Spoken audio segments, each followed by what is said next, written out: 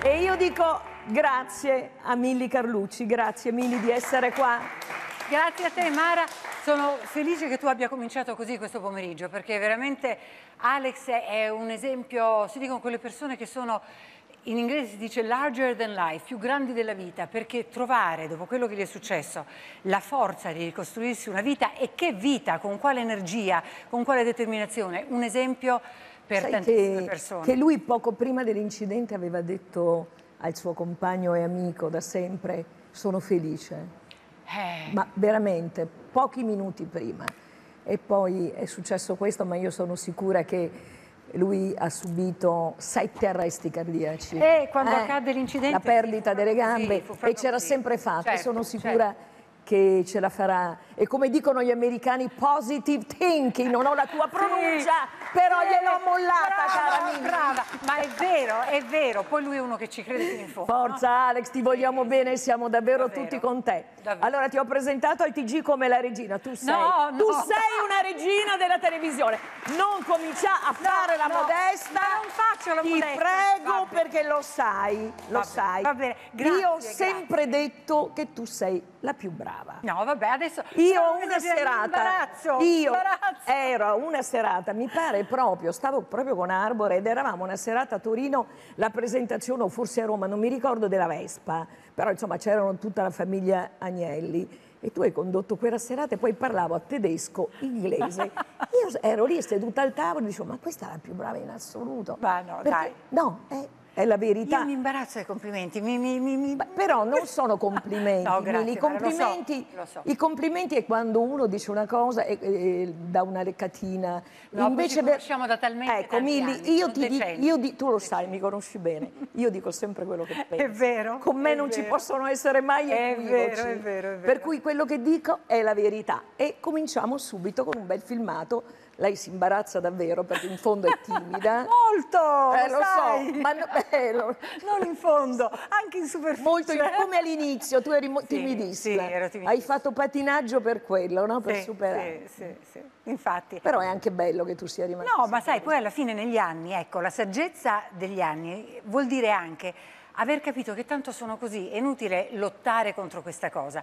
Lo sono, mi imbarazzo, lo dico e cerco di esorcizzare questa cosa con la quale dovrò convivere fino all'ultimo giorno della Ma mia vita. no? certo, anche perché se non siamo cambiate prima, se cambia Certo, più. No, eh, non si cambia eh, più. cambia Poi più. posso dirti una cosa, forse se non fossi stata timida avrei fatto l'architetto, no? Certo. Sarei andata per la mia carriera normale. Invece la voglia di combattere questa, questa specie di, di- di drago no? che ti avviluppa e ti impedisce di uscire fuori, mi ha portato a fare spettacolo. Quindi, vedi, alla Se fine... io ti dicessi che io ero timidissima e volevo fare la suora, tu ci crederesti? No, Eppure è così. così? Sì, volevo Sì, fare sì. come le mie suore canossiane, dove io sono andata alle elementari, volevo essere Madre Zelinda, che era la mia suora. Eh, certo, Eh, poi vedi sogno, che strada invece ho preso? però, però, che vuol dire? Che Questo è un omaggio a Milli, alla carriera di Milli Carlucci.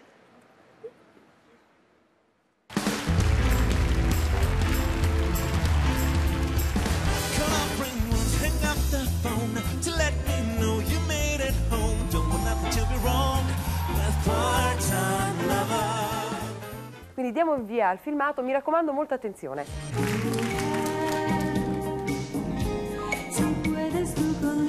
Hablar. Augurandoci che possiamo vincere questa quarta puntata di Giochi senza frontiere. Uscirà un disco in autunno Sì. che abbiamo chiesto di presentarlo così in anteprima per primo. Ciao, ciao amici, ciao Renzo, qui Milli dal piccolo Tibet. Adesso vediamo Milli Carlucci in compagnia del coreografo della, eh, di, appunto di questa troupe. Lo spettacolo ha avuto un grossissimo successo. Beh, magari come esibizione si può fare di meglio, comunque sono una principiante per cui bisogna accontentarsi. Chi si nasconde sotto la maschera? Ho voglia di ballare con te, soltanto io e te.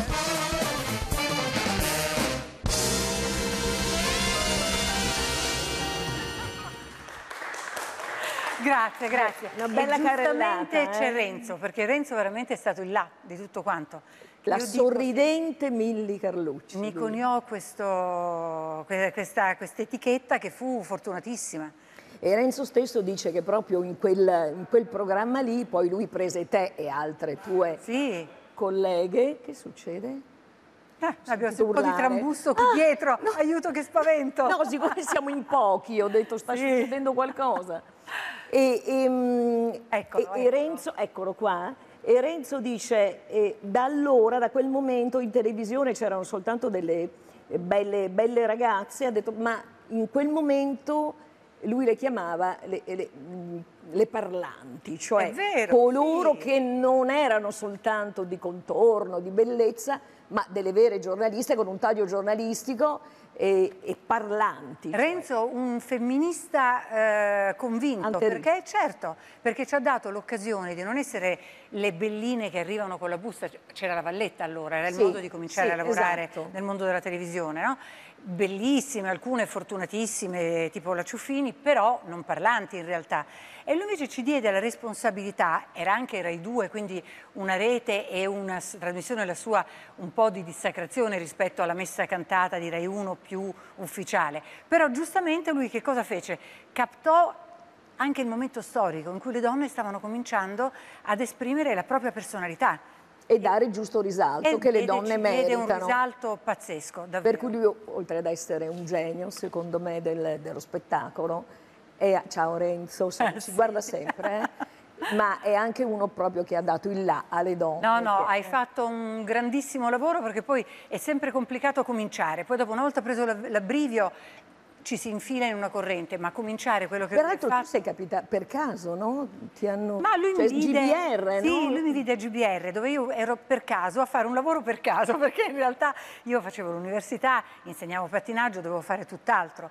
Però colsi questa occasione di andare a fare lì eh, un lavoro un po' improvvisato di, di- di, eh, presentatrice, giornalista, eh, spostavo le sedie, eh, mi pulivo la, la scenografia la mattina, insomma si faceva un po' di Cioè tu tutto. fino a prima di GBR non avevi mai pensato di fare la televisione? No, Non era nelle- nelle- nelle- nei tuoi pensieri? no. soprattutto non era nei pensieri della E mia nei famiglia. progetti di- No, figuriamoci, la mia famiglia proprio assolutamente Perché no. papà Quindi- che cosa voleva? Papà mi voleva inizialmente magistrato Mm. e quando io non feci giurisprudenza e andai a fare architettura, che già era una scelta molto avanti e dissacrante rispetto all'idea, no? il magistrato è il magistrato, giurisprudenza è giurisprudenza. Invece quelli erano anni in cui la facoltà di architettura era anche bollente da- dal punto di vista proprio delle, eh, delle manifestazioni, del- di tutto un discorso civile che- e sociale no? che si agitava lì. E io andai e feci architettura. Quando poi neanche questo feci come mestiere mio padre, steso. All'inizio non l'hanno presa bene? No, l'ha presa malissimissimo, proprio male, male, male, male. Allora, vediamo gli inizi, dai. Mi dispiace, ho tramortito il cameraman, ma la Carlucci che balla feeling me la voglio riprendere tutta io. I'm just trying to get by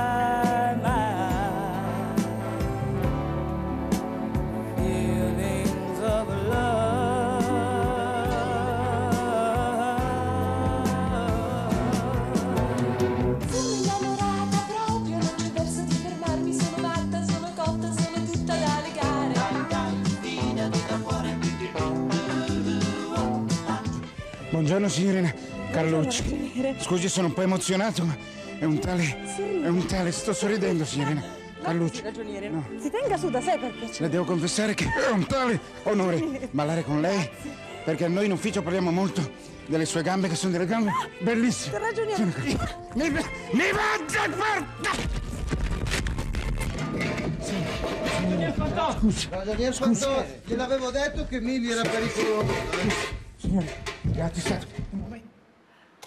Ah, quello è Crazy Bus con i gatti. Crazy Bust, uno Eh, dei tuoi sì. primi programmi. Sì, sì, il secondo subito dopo l'altra domenica. E fu una bellissima esperienza anche perché i gatti stavano esplodendo in quel momento, erano Certo, davvero il il gruppo, fenomeno, sì. l'astro nascente che poi Sì. insomma troppe ne hanno fatte canzoni. Te ne avranno combinate di tutti i colori perché conoscendoli bene sono Davvero? molto birichini Davvero, loro, davvero, eh? davvero. Divertente. E poi io giravo sempre in pattini perché comunque questa era la mia ultima esperienza artistica, no? quella della Certo. pattinatrice. E quindi fu una cosa insomma che in qualche modo funzionò, anche se io ancora ero inesperta, insomma davvero ero ai primi passi, dai. Però ti divertivi, dai, una ventata d'allegria. io Ma era, era veramente... In famiglia sempre scettici, sempre Ma sono stati scettici per anni, anni, anni. Veramente? Perché secondo loro era un tipo di carriera nel quale non costruivo. In effetti il nostro è un mestiere nel quale hai tanti alti e bassi, no? Eh. Cioè è tutto legato a così, a qualcosa che passa nell'aria, per cui succede o non succede. E a volte succedono cose meravigliose senza che neanche tu le abbia programmate. È vero, però E ci sono anche i momenti Ci sono i momenti bui, fermo. nonostante uno sia Sì. bravo, sia preparato, eccetera, però è che devi Beh, fare. io li ho vissuti sulla mia pelle, tu anche, poi ci sono Tutti, stati tutti, sì. ma certo, Sì. assolutamente. Quindi per questo mio padre diceva, ma che lavoro è questo? E quindi lui giustamente, no, da, da papà voleva ogni- qualcosa dove io potessi come ogni genitore. Come ogni genitore, Come no? ogni genitore. È chiaro che c'è questo. Senti, ho visto un filmato ieri, i nostri i miei autori che vanno sempre a trovare delle chicchette. Ti dirò che ho visto, io ero a casa ovviamente, e mi mandano tutti i filmati e ne ho visto uno esilarante. Dai. Non avevo mai visto Milli. Ah, hai No. beccato qualcosa di inedito. Due Benigni. Tu e Roberto Benigni, Ah, ma sì, non sì, l'avevo mai visto questo. Vediamolo insieme, perché davvero è una chicchetta, eh, questo. Roberto Benigni! Stammi lontano. Dove vai? No! Non mi far cadere.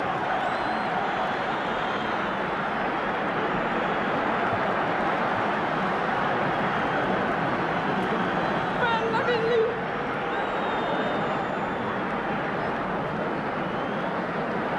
Un tornado, vuoi lascio?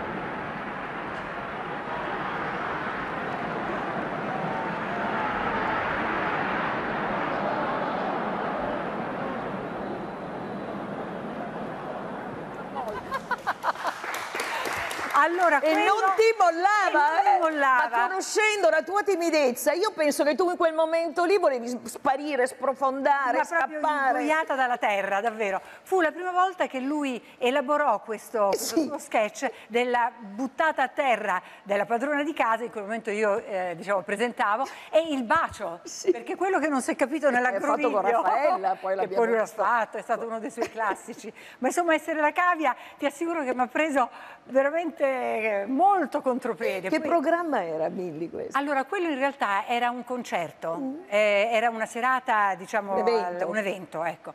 E, e lui era l'ospite d'onore e quindi ovviamente conoscendolo dall'epoca di Arbore, no? dall'epoca Sì, dell'altra domenica, io certo. sapevo bene di che cosa Dove fosse... faceva il critico, esilarante, Ma sapevo di che cosa fosse capace, ma a questo non ero preparata. Questa è stata veramente proprio una chicca.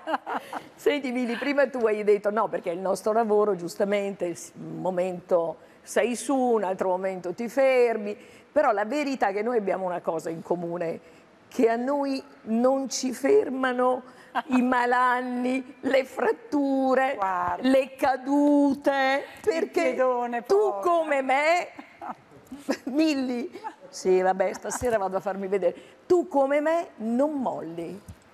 Eh? Eh, allora, guarda, io di queste ne ho passate tante. Lo so, anche quando purtroppo. sono venuta da te a ballando. A ballando, meravigliosa ballerina per una notte. Poi ce l'ho, adesso lo Dai, rimando. Quello, Sì, sì. quello rimane. No, no, negli ma oggi annali. ci divertiamo, un sacco di roba bella. Allora, eh, tanto dove, dov'è che ti sei rotta? Io ho rotto un osso che non sapevo neanche esistesse, che si chiama cuboide, essendo io una ballerina sul Sì, cubo, sul cubo cubo, cuboide. eh, che non potevo che Sì, sì, fratturarmi, una brutta frattura Aia, al aia. cuboide. Sono già tre settimane oggi. Quanti fai? 40 giorni? Col... Vado adesso alla farti- a Concordia Hospital a fare i controlli, penso di sì. Mm. Beh, Ma anche tu come me, voglio dire, tu vai avanti, ho un filmato. Dai, anche di questo hai un filmato.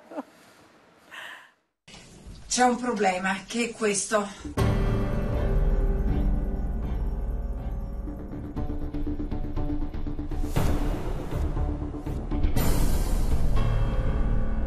Purtroppo frattura del piede, del metatarso del quarto dito e quindi frattura completa, eh, ne avrò per... eh,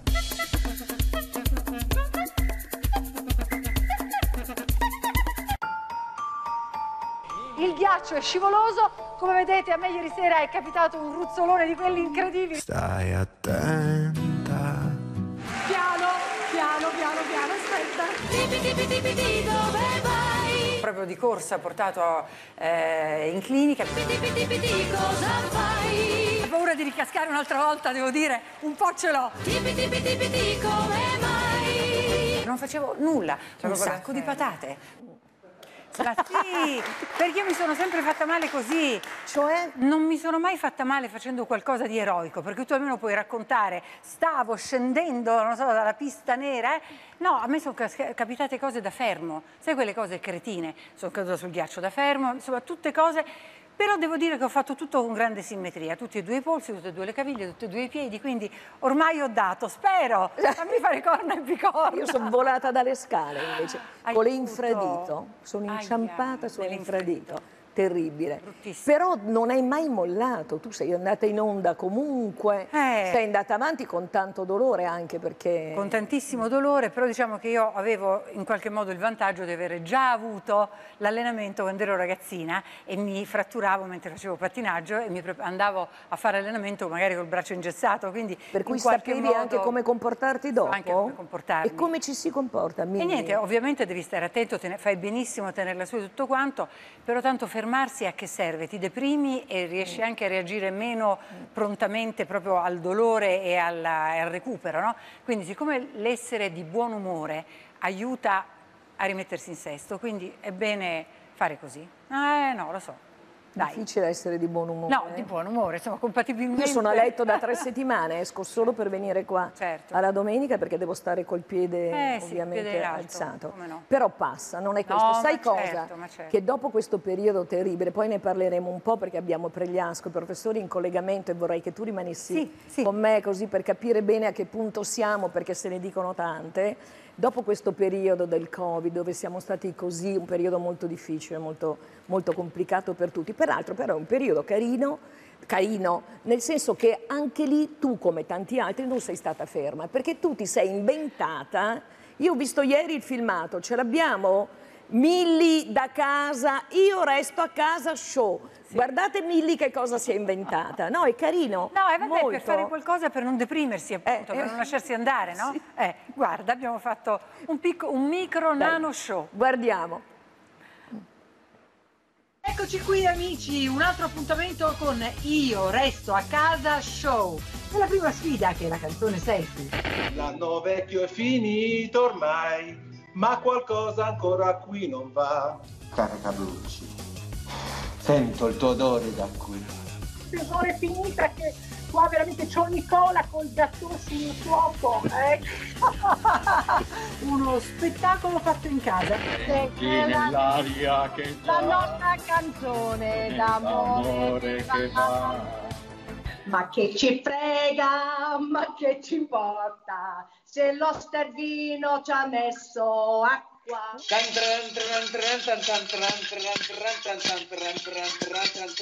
Olè!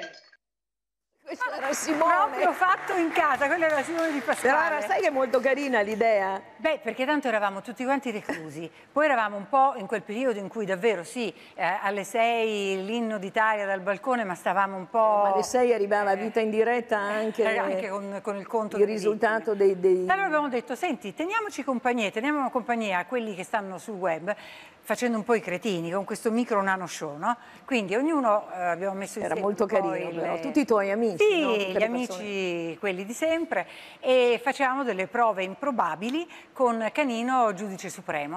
E insomma, è così, ce, ce la siamo cavata. Per dai, passare il abbiamo tempo, fatto- com'è stato questo periodo per te, per la tua famiglia, i tuoi figli Beh, lontani, intanto vero? eh, un figlio sì, perché Patrick non è potuto tornare da Londra perché lavora. Sì? E quindi la sua azienda l'ha tenuto lì. Poi dopo sono andati in smart working a un certo punto ed è stato Certo. meglio, però quando lui, Lui è circolava rimasto è rimasto là. E Angelica? Angelica è venuta a Roma, era a Roma con me a casa proprio perché ha detto che faccio da sola, vengo a casa con te, quindi ce l'ho avuta con me la mia Che da una bambina. parte no, Certo. mm, è tornata a stare con voi, con te con Angelo. No, carinissimo, questo è stato molto bello e poi eh, poco prima dell'inizio del lockdown per fare compagnia alla mia cagnolina ereditata da papà, è una Ah. cagnolina che si è un po' intristita con la perdita di papà e, e non è più stata la stessa, ho portato un cucciolo a casa, quindi mi sono fatta tutto il periodo dello svezzamento del cucciolo in lockdown, ho dovuto Hai impacchettare avuto il tuo bel da fare, ho avuto il mio bel da fare, Eh? sì. ho dovuto impacchettare la casa perché i cuccioli, chi ha i cuccioli lo sa, fanno qualunque cosa da qualunque parte. Avere un bambino piccolo. Sì, peggio, bisogna- eh, peggio, peggio, peggio. peggio. Senti, voglio andare avanti perché c'è un momento della tua carriera dove eh, in maniera meravigliosa, devo dire, tu con Luciano Pavarotti, Ah. Pavarotti hai ehm, presentato, ma vi siete anche un po' inventati, perché so benissimo che tu hai anche partecipato un po' come autrice alla costruzione di questo spettacolo meraviglioso ed è un vero peccato che non- a un certo punto non sia più stato fatto. E sto parlando di Pavarotti and Friend. Vediamo allora questo filmato e poi mi devi raccontare un po' di cose. Le luci della Mondovisione sono accese per una serata di grandissimo interesse musicale, ma soprattutto per una serata di grande importanza umana, una serata dedicata alla solidarietà. Voi sapete che questa sera, dal palcoscenico su cui si esibiranno tantissimi cantanti, Luciano Pavarotti!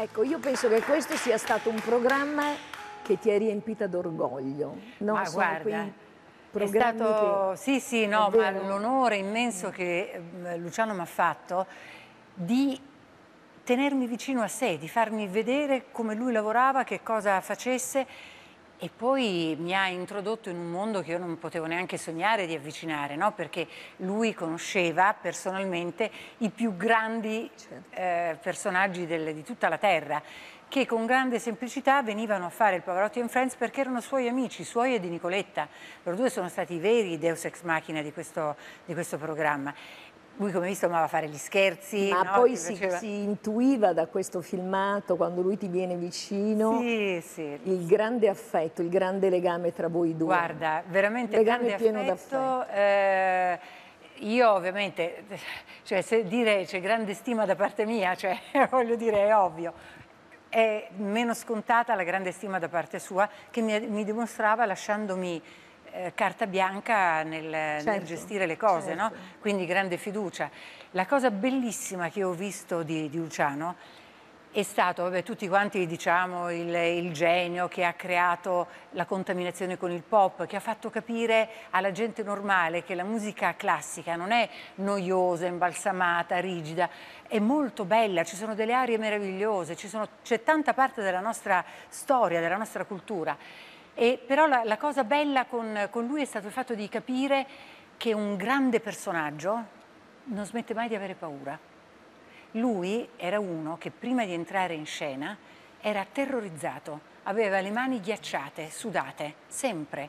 E un giorno che eravamo proprio lì e dovevamo, lui doveva, stava per entrare, e lui disse il giorno in cui, perché io gli feci notare questo fatto che era appunto, Mm. dico ma come mai? Dice il giorno in cui non dovessi più avere questa paura di entrare in scena, la paura di non sapere se poi mi uscirà la voce quando io arrivo lì e, no?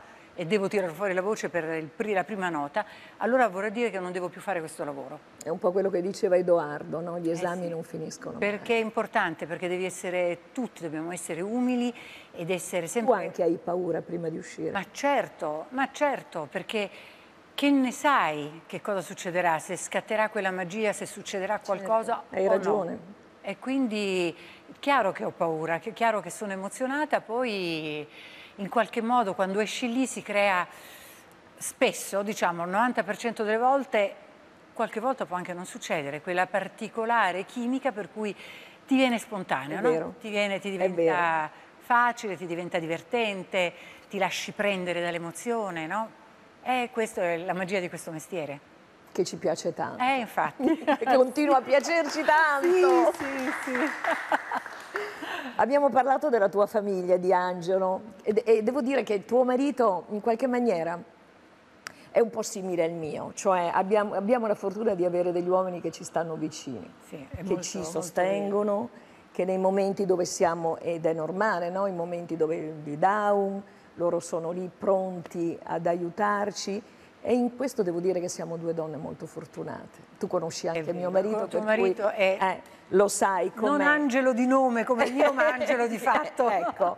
E, e il tuo angelo in qualche maniera, io ogni volta che vi vedo penso che in fondo il tuo marito è come il mio e, e da questo punto di vista siamo davvero delle Grande donne fortuna, sì, fortunate. sì, è vero. A te è arrivato prima, io ci ho messo un po' e, e il Ma mio percorso è stato diverso. Vabbè. Voi state insieme da quanti anni? 38, 39 anni ormai. Hai capito? Sì. E qual è il segreto, Milly? Eh, ma lo chiedo anche a te qual è il segreto. Il segreto è una mio costruzione- sono 20 anni ed è Eh, un ma lo record stesso, totale. Lo stesso. Sai, non è che c'è un Capirsi. segreto, è capirsi, parlarsi.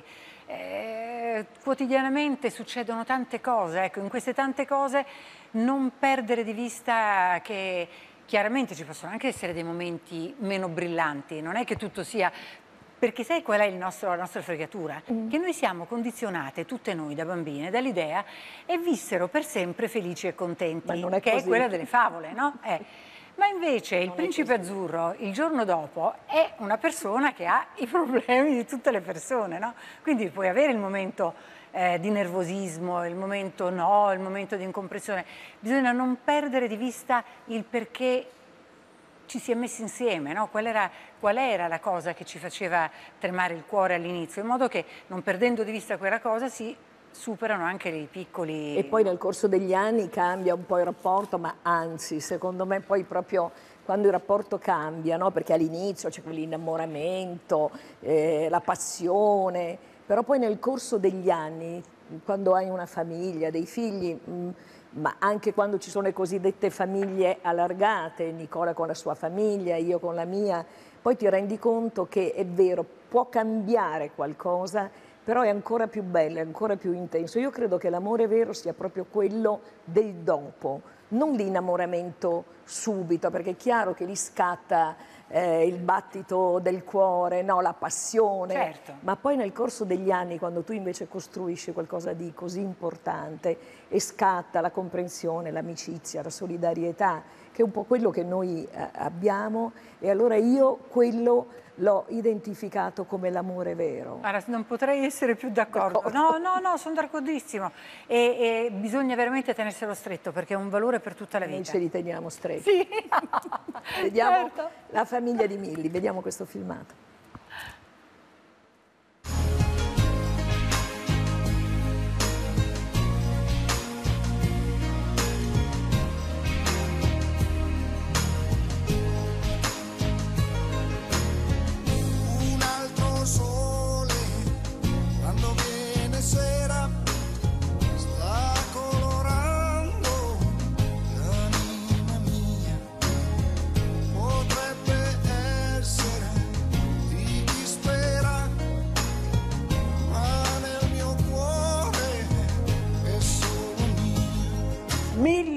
Sei bravissima, bellissima e io sono orgogliosissima di te.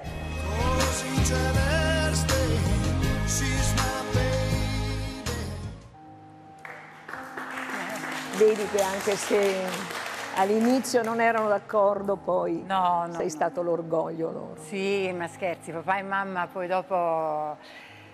Eh, il problema grosso è veramente perderli anche quando sei grande, no? Tu pensi che essendo adulto sei più capace di sopportare il lutto e invece la perdita da adulto è una perdita terribile perché hai vissuto tanto insieme con i tuoi genitori, hai vissuto, io con i miei ci ho vissuto tutta la vita, no? Ho perso mamma cinque anni fa e papà due anni fa.